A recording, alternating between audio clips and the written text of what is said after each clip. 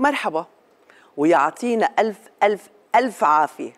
رجعت الحياة تدب فينا. ولأنه المي هي روح الحياة فالمطار بيقول لك أهلا بهالطلة وبنرحب فيكم مثل ما كتار على السوشيال ميديا. اللي علقوا رحبوا بالزوار من ميناء مطار بيروت الدولي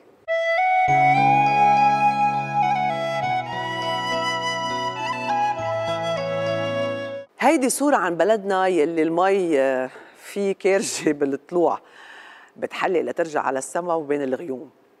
صورة عن بلد قرر يضل معطل ولما اشتغل طاف. وهالمشهد فيك تعممه على كل مفاصل الدولة يلي قررت تعبي الفراغات الأمنية بس بالتمديد. ديروا المي وخلي يشرب. ديروا المي وخلي يشرب. ولما اتفقت على الفكرة اختلفت على التنفيذ. ويا معلم راحت طافت لكم المواقف والخناقات والاتهامات يلي وصلت مع جبران باسيل إنه يتهم قائد الجيش بالخيانة وقلة الوفاء. لأنه الشخص برأينا ما بيستاهل آه، أي استثناء. هو خان الأمانة. يا عمي معقول جبران عم بيتابع مسلسل الخائن وتأثر بشي مشهد هيك ما بين أسيل وسيف؟ ممكن شو بعرفني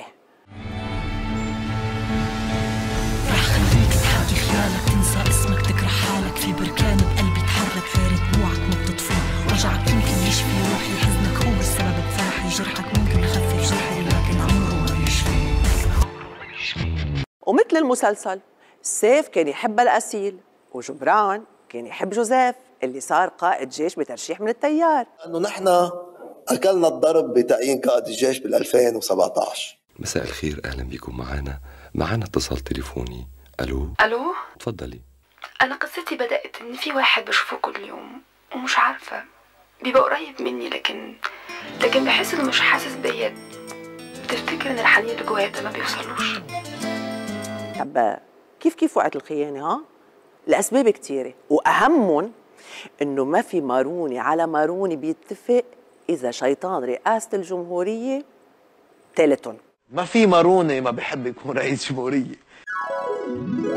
هيدا حلم ليله طويل حاجة تتأمل. وعدم الاتفاق هيدي المرة مش بس بين جبران وقائد الجيش هو متعدد الزوايا والأطراف والاقتراحات والمشاريع والتصاريح والتساريح. اولا في نظام سياسي بلبنان هو معطل نفسه ونظام سياسي قايم على توافق. فتأجيل التسريح لست أشهر قلب البلد قوات تحركت كتائب تحمست الاشتراكي قلبوا على الأركان مئاتي بمر لبري وبري بشوطة للحكومة.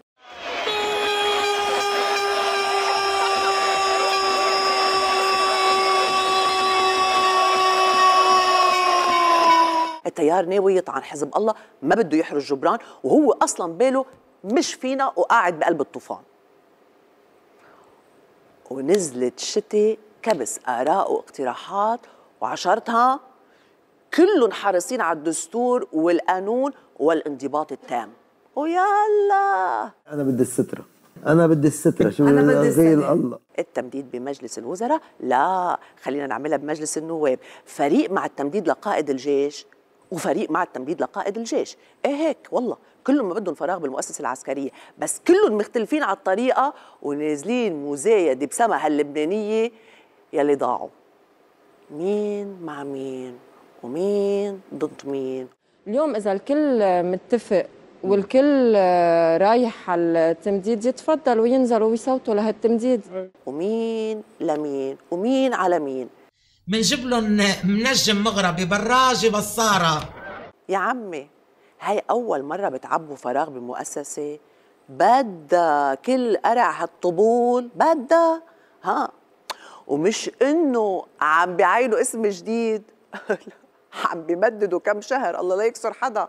يعني بدها مؤتمر صحافي لسمير جعجع وإعلان حرب لجبران باسيل واستنفار بالقتل ومشاورات مع تدخل سفراء وبعد شوي حكومة مجلس حربي. قطيعة. إذا بهيك استحقاق وعملنا زنبليطة. وشغلنا أمين عام مجلس الوزراء محمود مكي بإعداد مجموعة اقتراحات قانونية من كعب الدستور. كيف إذا قررنا نروح على انتخاب رئيس جمهورية؟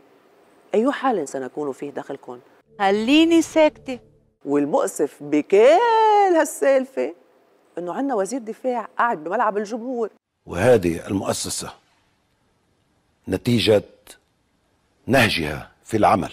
موريس سليم معاليك وزير يعني نظيرك الأمريكي لويد أوستن إذا شيء يعني بإيدك صلاحيات بتخلي كل هول الواردين انفا ما خصهم. وبلا صلاحيات إذا حضرتك قمت وقلت الأمر لي تتكلم.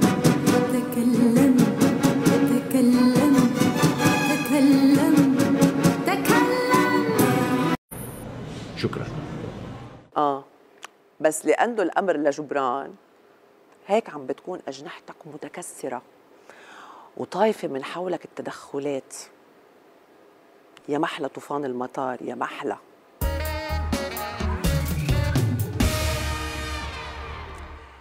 صار لها فترة مش عم تطلع معنا يمكن ما بعرف كانت زعلانة أو شيء المهم اليوم غيرت رأيها وجاية بدها تحكي. جيلبرت.